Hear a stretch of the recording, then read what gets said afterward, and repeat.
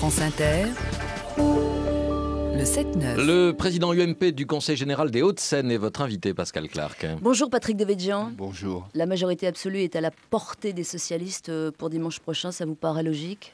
C'est cohérent, en tous les cas, à si peu de temps d'intervalle, les Français ne se, désor- de- ne se démentent pas euh, un mois après. Non, c'est c'est logique. Cela dit, c'est pas gagné parce que le résultat est aussi celui de l'abstention. L'abstention record sous la Ve République pour des élections législatives. C'est préoccupant. Ouais, L'UMP qui ne s'effondre pas, euh, est-ce que ça prouve que le problème de la présidentielle, c'était Nicolas Sarkozy? Enfin, je ne crois pas. La preuve, c'est que nous n'avons pas la majorité absolue aujourd'hui. Mais quand même. Et Quand même quoi? Ça, ça- ça vous fait rire cette question? Elle ne oui, se pose pas? Oui, c'est une question. Non, elle ne se pose pas, non. Non, elle ne se pose pas. D'abord parce que l'élection présidentielle, si vous l'avez bien regardée, elle s'est passée sur euh, un bilan, sur euh, une attitude par rapport à un certain nombre de données politiques, notamment la question de la crise qui n'a pas été traitée pendant la campagne. Et euh, aujourd'hui, le score de l'UMP n'est pas non plus un score triomphal. Alors votre parti, l'UMP, réunit cet après-midi son, son bureau politique. Est-ce que vous êtes pour le nini qui semble se dessiner en cas de duel FNPS, ni l'un ni l'autre? Je suis pour le maintien de notre position traditionnelle, ni Front républicain, ni Front national. Et sans, sans problème, sans scrupule, sans, état d'âme? Ben, c'est- ça a toujours été la position de l'UMP. et c'est- Et me ça, va continuer, et ça vous paraît logique. Et quand vous entendez euh, Nadine Morano, en difficulté en Meurthe-et-Moselle, appeler les électeurs FN à se rassembler sur sa candidature, est-ce que ça vous choque? Je ne connais pas bien la situation, euh, mais je suis pour le maintien de cette position. Je vous ai dit, ni Front républicain, ni Front national. Je ne pense pas qu'il y ait euh, lieu de soutenir, par exemple, le, le Front de gauche, euh, les alliés du Parti socialiste qui s'allient à, à l'extrême gauche. Nous n'avons à opter pour aucun des partis extrémistes. Donc un rassemblement avec des voix FN ne vous pose aucun problème? Je n'appelle pas les dirigeants du, du Front national à voter UMP. Vous semblez euh, spécial ce matin. Pourquoi? Parce que pas. je ne réponds pas à vos questions Voilà, comme vous par exemple. que je le fasse. Par exemple. Alors l'UMP en net recul dans les Hauts-de-Seine par rapport à 2007. Euh, Comment analysez-vous ce recul? Est-ce que c'est l'ancien empire sarkozyste qui se lézarde?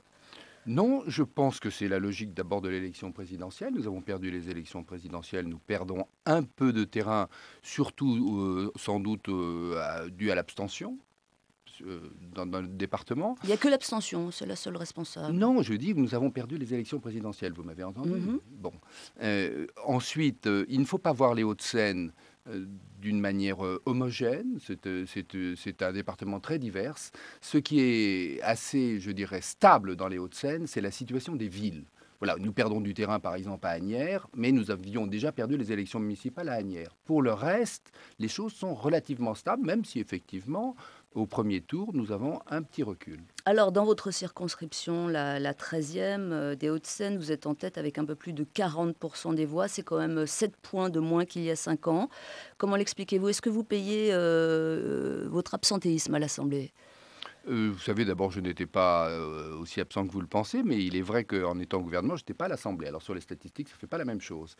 Mais euh, en même temps, je suis dans le recul général de la droite. voilà. Mais je pense qu'à 40%, vous savez, j'ai fait déjà quelques exploits avec un score plus difficile. Le candidat chevètementiste Julien Lanfried dit qu'il peut vous battre. Il a fait 29%. Ben, je- C'est normal que quelqu'un qui se présente aux élections espère gagner. Cela dit, il aura du mal parce que à gauche, euh, la division, on parle toujours de la division à droite, on peut aussi parler de la division à gauche. Il faut voir ce qu'ont écrit euh, les autres partis de gauche sur euh, le parachuté chevènementiste. Donc vous êtes confiant. Je suis toujours angoissé devant une élection. Parce que- Angoissé oui, toujours, parce que le corps électoral dispose. Les candidats proposent, le corps électoral dispose. Et donc, on n'est jamais sûr de rien. Il faut faire confiance aux électeurs, mais je pense que ma situation est plutôt bonne. Êtes-vous surpris par l'élimination de Ramayad à Colombes? Je ne suis malheureusement pas surpris. Ah bah il a choisi pour, euh, de répondre de façon courte ce matin, c'est comme ça. On va passer à un livre qui va peut-être Ben, vous vos inspirer questions davantage. sont courtes, mais mes oui, réponses, oui, oui, euh, enfin, je sais pas. mes réponses euh, le Euh, sont également. passons à ce livre qui peut peut-être vous inspirer, un livre signé de votre plus proche collaboratrice. Elle s'appelle Marie-Célie Guillaume, Le monarque, son fils, son fief, roman à clés, mais euh, elles sont pas très compliquées les clés. Euh, description du climat dans les Hauts-de-Seine sous Sarkozy, menaces, chantage, violence. C'est ça que vous avez vécu? Écoutez, ça c'est le livre de Marie-Célie Guillaume, je respecte sa liberté. Il vous a plu, ce Mon livre? livre, c'est le sien, c'est c'est très bien écrit d'ailleurs, mais euh, moi je suis un homme politique, je ne suis pas un écrivain.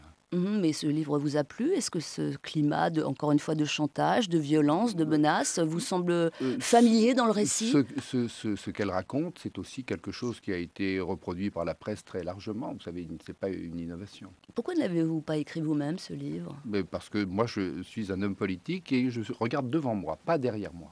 Donc vous avez euh, oublié ce qui s'est passé? Oui, Vous avez passé l'éponge? Oui, j'ai passé l'éponge. Euh, Il y a un épisode euh, assez particulier dans ce livre. Euh, une élue vient demander une subvention pour un musée à Nicolas Sarkozy, lequel ressent un, un appel sexuel pressant qui l'assouvit.